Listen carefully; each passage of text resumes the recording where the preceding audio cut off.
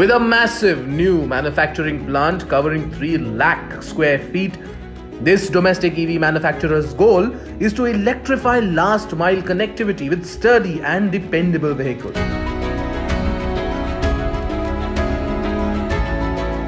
And at the helm of operations are industry veterans with decades of expertise in the automotive sector. And the name of the company? Altigreen. India has seen an influx of electric vehicle startups, but Altigreen is not a new player.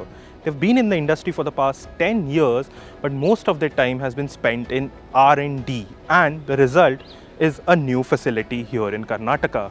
We've been invited by the team to take a look at how their electric three-wheelers are made. Altigreen recently moved to Malur, around 35 kilometers from its R&D center in Bengaluru, Karnataka. It has a yearly production capacity of 55,000 units, which translates to around 4,500 units a month, or approximately 130 to 150 units per day. Because most of its electric three-wheelers are assembled manually, Altigreen will soon migrate to a semi-automated setup to increase production. But the purpose of our visit was to understand how the electric three-wheeler is built.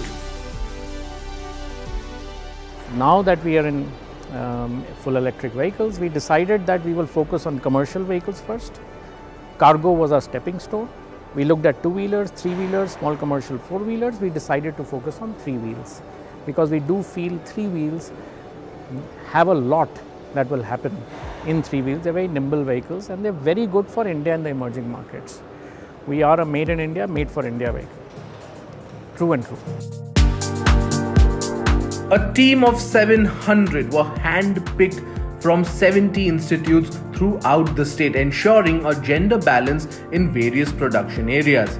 In fact, the electronics components department is fully operational, including supervisors, via a women only team. We wanted to make sure that we make electric vehicles possible in our geography. And we realized that to make it possible, the first thing you need are the components the motors, the controllers, the electronics, you know, the gearboxes, the battery management system, the battery technologies, the software stack that runs through it. That is where Altigreen focused. Altigreen provides made in India vehicles that are 93% localized, a majority of which come from Karnataka. The only imported components are the electric batteries. For the time being, the Altigreen plant operates on a single assembly line. The first component attached to the metal frame is the electric motor, followed by the suspension, tires, brakes, and handlebars. The exterior panels are followed by the lighting system and eventually the touchscreen instrument console. There are more than 25 substations, each with two or three persons working on them to ensure a smooth transition throughout the entire process. We also got to take a ride around the facility on the Altigreen NEEV. It has a 11 kilowatt hour lithium ion battery with an IP67 certification. The electric three-wheeler develops 11 bhp and 45 newton meters of peak torque, translating to 150 kilometer range on a single charge. We started in 2013. We're almost close to our 10th anniversary, right? But in the process of getting here, we've done fundamental R&D in everything that is remotely electric in an electric vehicle. We've garnered 26 global patents that have been granted to us, not applied for, not filed, granted to us.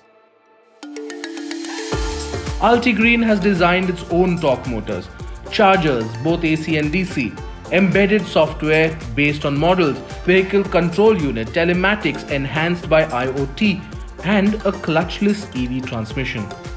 After the Malur plant, Altigreen intends to open four more factories in India, as well as one in the ASEAN region, increasing its workforce to 3,000 people by 2025.